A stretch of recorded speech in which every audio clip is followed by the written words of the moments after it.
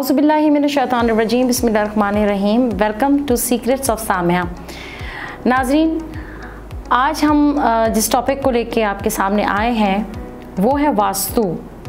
हिंदी में वास्तु कहते हैं, इंग्लिश में इसको साइंस ऑफ़ आर्किटेक्चर कहते हैं। इंग्लिश में इसको डायरेक्शन और जोन भी कहा जाता है, और उर्दू में कहा जाए तो रहने की जगह। आपको मैं पहले भी बता चुकी हूँ कि अल्लाह पाक ने जब दुनिया बनाई तो चार एलिमेंट्स बनाए थे, मट्टी, हवा, पानी और आग। और अल्लाह पाक की कोई भी बनाई हुई चीज़ बेमानी नहीं है। उसमें कोई ना कोई वजह है, कुदरत है और वो हमारे लिए बहुत ही बेनिफिशियल है।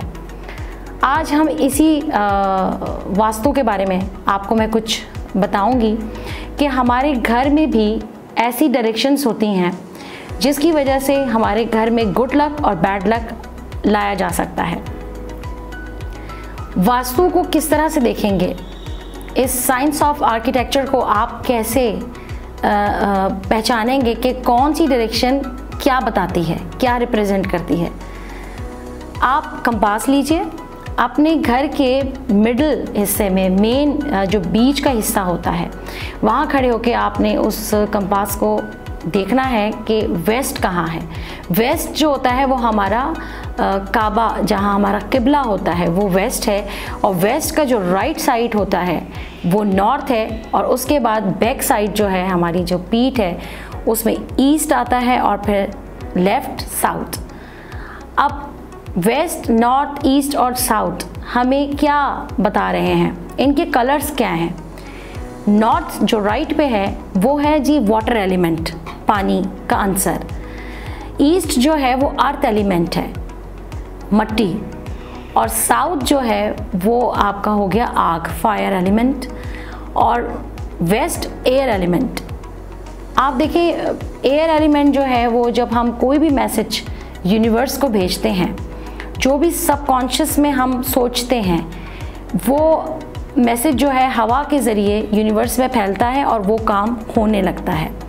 इसलिए अल्लाह पाक ने भी कुरान पाक में कहा है कि जो गुमा करोगे वैसा होगा। साइंस भी यही बताती है।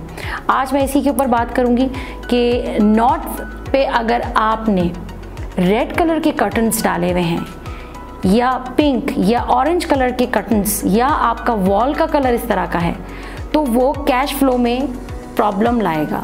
आपका कैश फ्लो नहीं होगा, आप में अखराज आपके घर में बढ़ेंगे और हेल्थ इश्यूज़ भी आपके घर में आना शुरू हो जाएगी। इसी तरीके से अगर आप साउथ पे देखते हैं, अगर आपके साथ ऐसा कुछ हो रहा है कि जिसमें रिलेशनशिप प्रॉब्लम हो रही है वाइफ एंड हस्बैंड के साथ प्रॉब्लम हो रही है, आपका देखिए उसको, आप गौर करिए अपने घर के हिस्से में कि आपके साउथ में कुछ ना कुछ गड़बड़ है।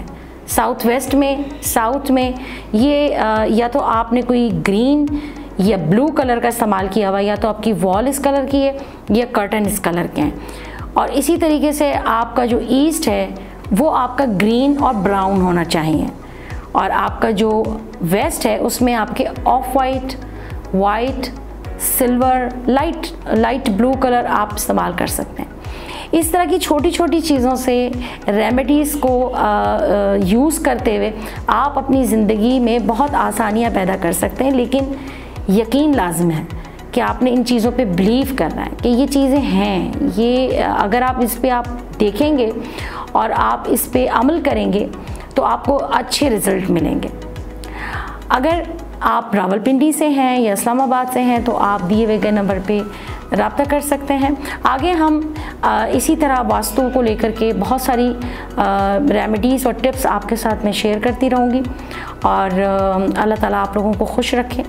आप मुझे अपनी दुआओं में रखें, मैं आपके लिए दुआ गो हूँ।